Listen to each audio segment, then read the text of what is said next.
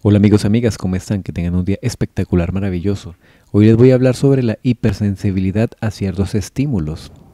Bueno, podríamos decir que en algunos niños tienen disfunciones en la integración sensorial, lo que puede llegar a implicar que sean extremadamente sensibles a determinados estímulos, como diferentes texturas en la ropa, olores, olores concretos más que todo, etc o bien puede ser que sean demasiado poco sensibles pareciendo no tener miedos frecuentes al peligro, entre ellos a las alturas, realizando movimientos bruscos o torpes.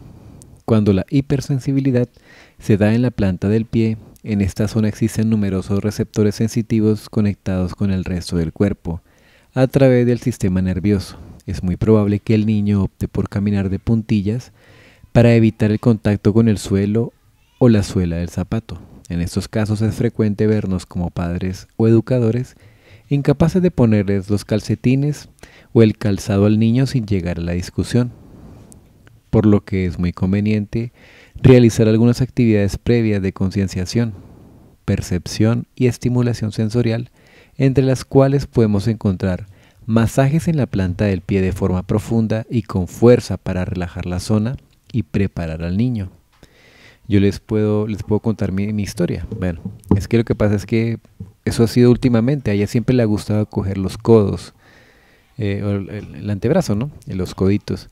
Siempre nos, nos toca los codos de una manera muy especial porque siente, digamos, afinidad con la textura de la piel. Pero últimamente siente como más, más necesidad de tocar los pies, o sea, le parece más atractivo. Incluso estaba mirando sus caricaturas y dejó de hacerlo para, me acosté un momentito en la cama y empezó a, tocarme los pies y a separarme los dedos. Yo le hago a ella exactamente lo mismo y ella se siente incómoda un poquito. Y pues también me, me, sacó unas yucas, o sea, me traqueó, me, me, tronó unos deditos. Pero bueno, mm, porque a lo mejor no, no percibe que... Bueno, a mí no me duele, la verdad.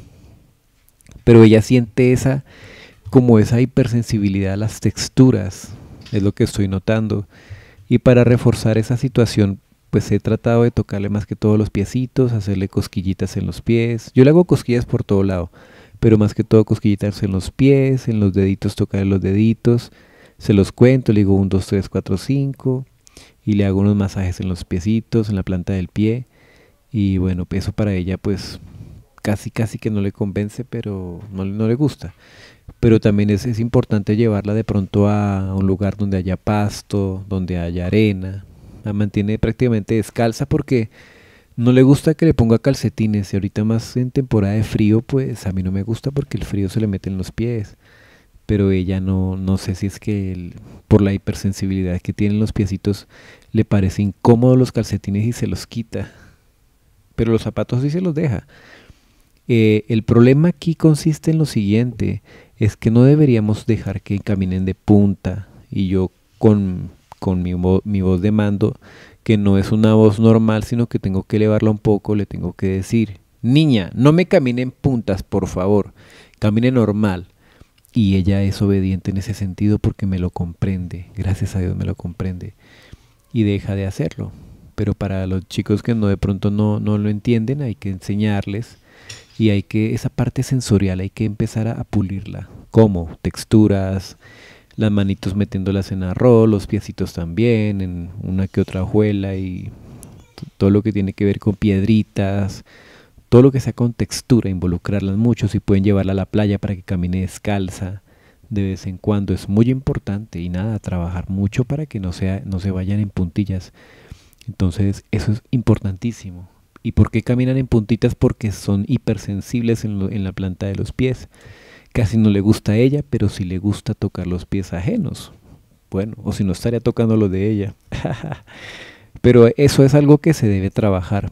Yo espero de corazón, como todo lo que hago, que le sirva a muchas personas porque lo hago con el cariño y que tengan un día espectacular. Dios me los bendiga y aquello, consejo preliminar, hay que trabajar mucho esa estimulación para ellos, porque siento que, les va a servir para que no sean tampoco, para, no sé, no sé si de pronto podríamos ayudar en ciertas condiciones neuronales o, O podríamos también ayudar en el hecho de que no sean tan hipersensibles y que todo les produzca incómodo, incomodidad.